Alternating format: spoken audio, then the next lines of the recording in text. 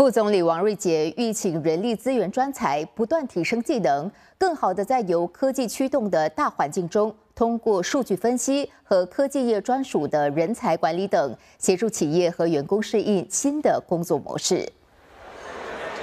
王瑞杰出席世界人力资源大会时说：“人力资源专才拥有所需的技能，协助制定正确的架构、系统和流程，来推动劳动力和工作场所转型。” Driving structural changes requires a range of tools, from vision to matrix to programs, to drive alignment and ensure shared outcomes. Crucially, the key is to bring everyone in the organization along